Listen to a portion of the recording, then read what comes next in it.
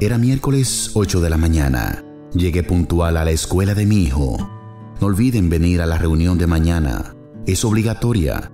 Fue lo que la maestra me había dicho un día antes. Pues ¿qué piensa esta maestra? ¿Cree que podemos disponer fácilmente del tiempo a la hora que ella diga? Si supiera lo importante que era la reunión que tenía a las 8 y 30. De ella dependía un buen negocio y tuve que cancelarla. Ahí estábamos todos, papás y mamás. La maestra empezó puntual, agradeció nuestra presencia y empezó a hablar. No recuerdo qué dijo. Mi mente divagaba pensando cómo resolver ese negocio tan importante, ya que me imaginaba comprando esa nueva televisión con el dinero que recibiría. Juan Rodríguez, escuché a lo lejos. ¿No está el papá de Juan Rodríguez? dijo la maestra. Sí, aquí estoy, contesté, pasando al frente a recibir la boleta de mi hijo. Regresé a mi lugar y me dispuse a verla.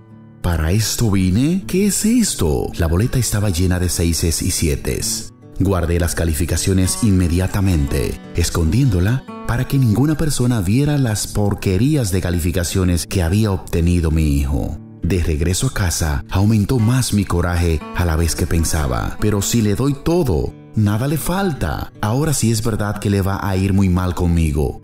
Llegué, entré a la casa, azoté la puerta y grité, Ven acá Juan. Juan estaba en el patio y corrió a abrazarme. ¿Papá? ¿Qué papá ni qué nada? Lo retiré de mí, me quité el cinturón y no sé cuántos azotes le di al mismo tiempo que decía lo que pensaba de él.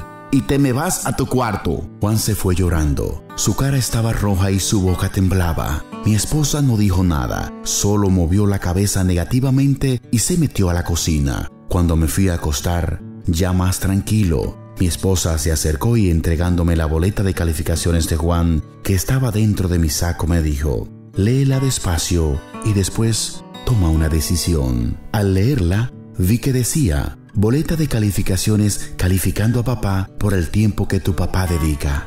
Para jugar contigo, 6 para enseñarte cosas, 7. En abrazarte y besarte, 6. Para ayudarte en tus tareas, 6. Para ver la televisión contigo, 7.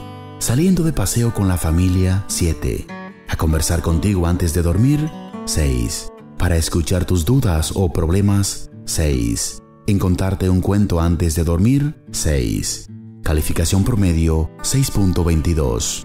Los hijos habían calificado a sus papás el mío me había puesto seis y siete. Sinceramente, creo que me merecía cinco o menos. Me levanté y recorrí a la recámara de mi hijo. Lo abracé y lloré. Me hubiera gustado poder regresar al tiempo, pero eso era imposible. Juanito abrió sus ojos, aún estaban hinchados por las lágrimas. Me sonrió, me abrazó y me dijo, Te quiero, papito cerró sus ojos y se durmió. Despertemos, papás. Aprendamos a darle el valor adecuado a aquello que es importante en la relación con nuestros hijos, ya que en gran parte de ella depende el triunfo o fracaso en sus vidas. ¿Te has puesto a pensar qué calificaciones te darían hoy tus hijos? Esmérate por sacar buenas calificaciones.